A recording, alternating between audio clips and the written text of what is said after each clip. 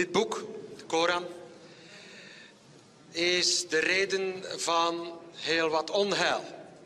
Bron van alle kwaad, license to kill en nog een paar van dat soort dingen meer. Maar dit boek, de Koran, de basis van de islamitische leer, wordt op een fundamentalistische manier beleden in nogal wat moskeeën in ons land. Ons land telt 295 moskeeën, als ik de lijst van de Unie van moskeeën mag geloven. En wellicht een derde behoort tot de salafistische, jihadistische strekking, radicaal sunnitisch, waar in min of meerdere mate gerecruiteerd wordt voor de jihad, waar geweld gepredikt wordt en ga zomaar door.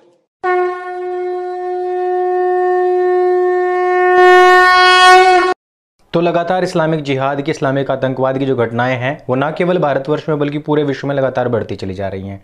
जहाँ एक तरफ़ गोरखपुर में एक बार फिर से जो कुछ अभी फरीदाबाद में हुआ था, निकिता के साथ में, वही कुछ एक और अब्दुल ने दोहरा दिया है गोरखपुर में।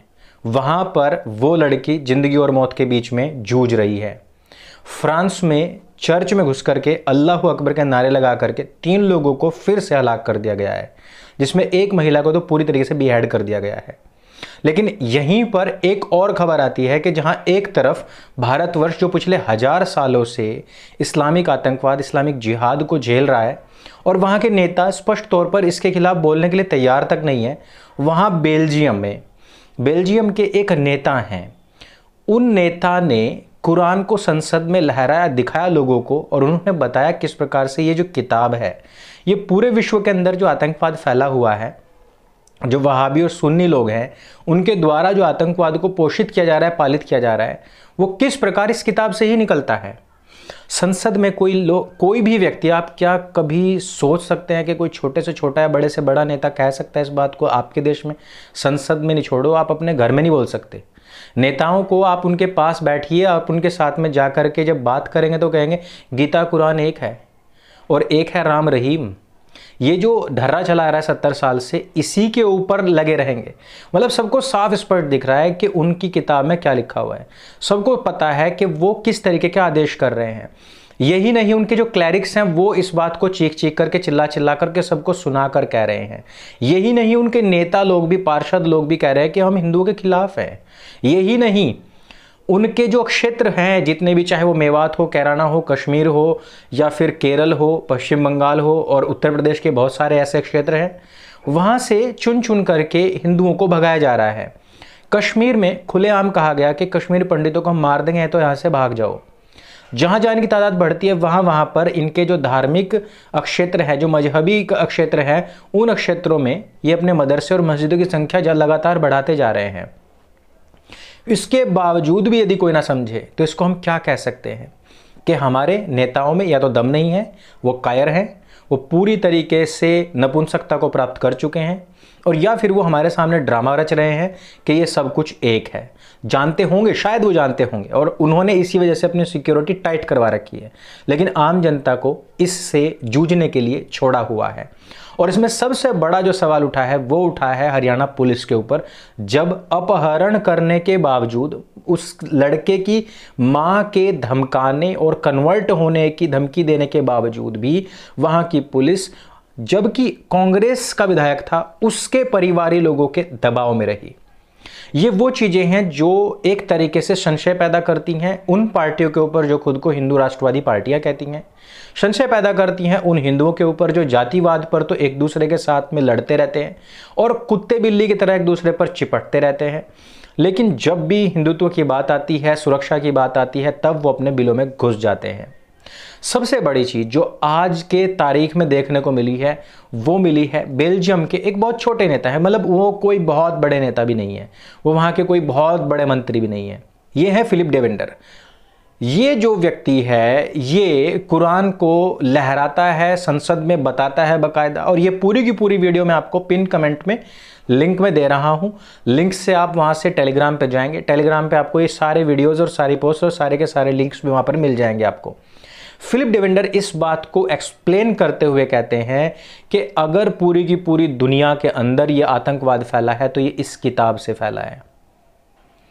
ये इस किताब से फैला है। पहली बार किसी व्यक्ति ने, किसी राजनेता ने, किसी राजनीतिक प्लेस पर, किसी संसद में, किसी सीनेट में खड़े होकर के इस बात को कहा है। दूसरी बड़ी चीज़, फ्रांस जो लगातार इस्लामिक देशों का दंश झेल रहा है कि उसका बहिष्कार किया जाए, उसको गालियाँ दी जा रही हैं। उसी फ्रांस में आज की ही तारीख में चर्च में घुस करके अल्लाह अकबर के नारे लगाते हुए एक व्यक्ति घुसता है एक जिहादी, और वहाँ पर वो लगातार चाकुओं से वार करता है। कई लोग घायल होते हैं, दो लोग उसमें मर जाते हैं, और एक महिला जो है, उसकी गर्दन उसको काट करके अलग कर दी जाती है। आप इससे क्या समझेंगे? फ्रांस, जो कि ऑलरेडी इस चीज़ को लेकर के बहुत ज़्यादा कॉशस हो चुका है, बहुत ज़्यादा उसने वहाँ के जो नियम है वो जटिल करते जा रहा है, जो वहाँ के आए हुए शरणार्थी हैं, उनको लेकर के एक बार फिर से नियमों को सख्त कर रहा है। वहाँ के रहने वाले मुसलमानों ने ही एक बार फिर से फ्रांस को ये दंश दे दिया है कि उन्हीं के लोगों को चर्च में घुस करके अल्लाह अकबर का नारा जो विशेष है अल्लाह अकबर, यानी कि अल्लाह जो है वो सबसे बड़ा है। आगे इसमें यह भी है कि अल्लाह सिर्फ़ एक ही है। अल्लाह सबसे बड़ा है तो चर्च का यहाँ पर क्या काम है? अल्लाह का कोई भी मानने वाला व्यक्ति किसी भी क्षेत्र में होगा तो वो वहाँ पर अल्लाह के अलावा दूसरे की प्रे को कोई भी प्रार्थना होगी, उसको झेल ही नहीं सकता है। यह चीज़ हुई है फ्रांस में। आप ये देखिए, इसमें थोड़ा गौर कीजिए कि फ्रांस एक ऐसी कंट्री है जहाँ पर इन सब चीज़ों के खिलाफ बोलने के लिए फ्रीडम ऑफ़ एक्सप्रेशन भी हम लोगों से बहुत ज़्यादा और आगे है। फ्रांस एक ऐसी कंट्री जो पूर्ण रूप से विकसित है। फ्रांस एक ऐसी कंट्री जो इस प्रकार के दंश को शायद भारत से ज़्यादा नहीं झेल पाई अभी तक। लेकिन उन लोगों ने इन सब चीज़ों को लेकर के अपने यहाँ के लोगों को बहुत ज़्यादा एक्टिव कर दिया है। इवन वहाँ पर जब अजान होती है तो वो लोग ऊँची आवाज़ में अपना राष्ट्रगान गाना शुरू कर देते हैं। यहाँ पर अजान के टाइम प्रधानमंत्री जी जो हैं, वो अपना स्पीच तक रोक देते हैं। दोनों चीज़ों में कितना फ़र्क है? जबकि मैंने शुरू में बताया कि भारतवर्ष जो है, वो हज़ार साल से इस इस्लामिक आतंकवाद को झेल रहा है। उसने बहुत बड़े बड़े जिनोसाइड झेले हैं, बहुत हिंदुओं का विरोध झेला है। यहाँ के हज़ारों मंदिरों को तोड़ करके नेस्तनाबूद किया गया है। अभी भी आप पाकिस्तान में देखेंगे तो वहाँ के जो पूर्व के मंदिर और वहाँ की जो यूनिवर्सिटी थी तकसीला उनको तोड़ फोड़ करके बराबर कर दिया गया है। इस स्थिति के होने के बावजूद भी यदि हमारे प्रधानमंत्री, इस स्थिति के होने के बावजूद भी यदि हमारे प्रधानमंत्री अजान के समय पर, जबकि ये कहा जा रहा हो कि अल्लाह अकबर नहीं है कोई भी मबूद सिवाय अल्लाह के तो उस समय पर महादेव के पुजारी अपना स्पीच रोक देते हैं। तो इन सब चीज़ों से हमें यही पता लगता है कि जो हमारे नेतागण हैं, ये किसी काम के नहीं रह गए हैं। ये स्पष्ट रूप से इन चीज़ों को काम को करने वाले नहीं हैं। इन चीज़ों को लंबा खींचेंगे और वक्त जितना लंबा खींचेगा, उतना ही इन लोगों की शक्ति बढ़ेगी और अंततः एक ना एक दिन यह जो देश है, उनके जो मंसूबे हैं, उन, वो अपने मंसूबों पर खरा उतरेंगे और इस देश को अपने अधिकार क्षेत्र में ले लेंगे। इसलिए आप लोगों का जागरूक होना बहुत ज़रूरी है। हमें आज की तारीख में फिलिप डेवेंडर जैसे लोगों को आदर्श मानने की आवश्यकता है और उस जैसे ही आदर्श यहाँ पर उपस्थित हों भारतवर्ष में राजनेताओं के।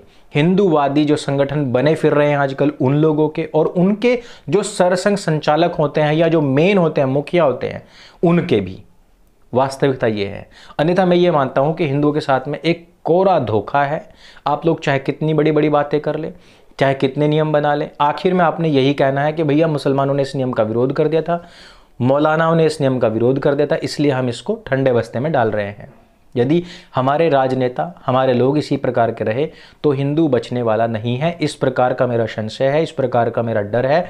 जहाँ तक मैंने इस्लामिक इतिहास को, भारत के इतिहास को पढ़ा है अच्छे तरीके से, और जहाँ तक मैंने कुरान को पढ़ा है, हदीसों को पढ़ा है, और जहाँ तक मैंने पिछले 1400 सालों में गैर मुस्लिमों के साथ में इस्लामिक जिहादियों और आतंकवादियों का रवैया और जो उनका बिहेवियर रहा है, किस प्रकार से उन्होंने उनको अंत किया और देश के देश अपने कब्जे में ले लिए हैं।